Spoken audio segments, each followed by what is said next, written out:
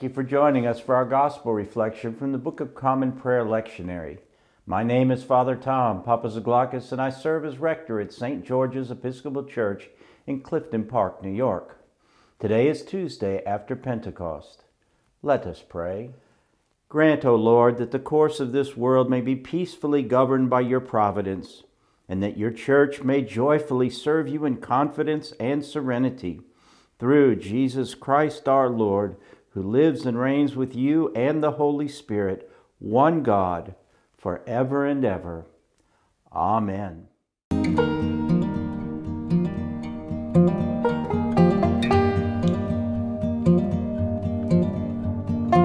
Our lesson comes from the Gospel of Luke, the 15th chapter, beginning at the first verse.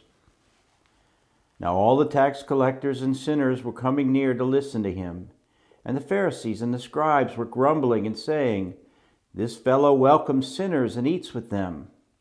So he told them this parable Which one of you, having a hundred sheep and losing one of them, does not leave the ninety nine in the wilderness and go after the one that is lost until he finds it? When he has found it, he lays it on his shoulders and rejoices. And when he comes home, he calls together his friends and neighbors, saying to them, Rejoice with me, for I have found my sheep that was lost. Just so I tell you, there will be more joy in heaven over one sinner who repents than over 99 righteous persons who need no repentance. Or what woman, having ten silver coins, if she loses one of them, does not light a lamp, sweep the house, and search carefully until she finds it? When she has found it, she calls together her friends and neighbors, saying, Rejoice with me, for I have found the coin that I had lost. Just so I tell you, there is joy in the presence of the angels of God over one sinner who repents. Here ends the lesson. In today's gospel reading, Jesus is saying that none of us have to remain as hopeless sinners outside of the kingdom of God. He's making it absolutely clear to all who will listen that God is concerned with the repentance of sinners. Jesus lived these words as he sat, ate, and talked with those who were thought of as hopeless and sinners outside of the realm. The irony in this is that the Pharisees and the teachers of the law, who had the institutional authority and responsibility to help prepare the way for the Messiah, could not understand and would not accept the Messiah. I wonder if the hardness of heart that prevented them from knowing and accepting Jesus as the Messiah, much less as their Messiah, was because they could not or would not move past the sin of pride.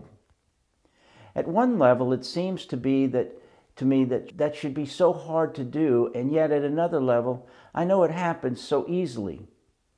The minute we quit asking God to show us the way and decide we know the way we become lost.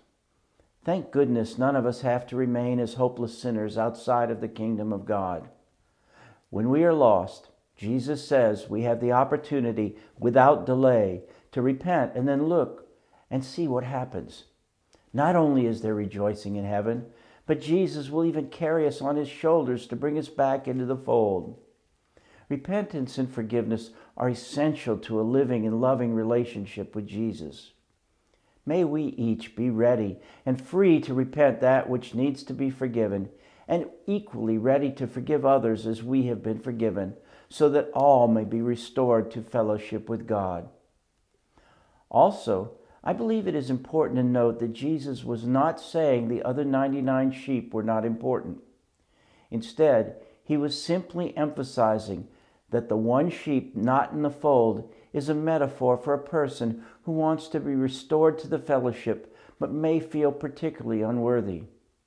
To that person, Jesus is saying, Come back with a contrite heart, repent of your sin, and be received back as one highly valued and loved by God. Let us pray. O merciful Father, who has taught us in your holy word that you would never willingly afflict or grieve the children of men. Look with pity upon the sorrows of your servants for whom our prayers are offered.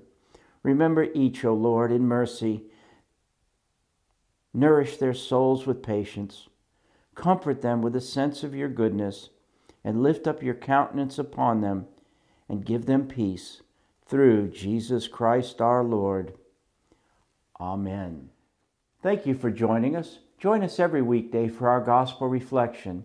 If you live in the Clifton Park area, join us for worship at 4:30 on Saturday afternoons or 9 a.m. on Sunday mornings.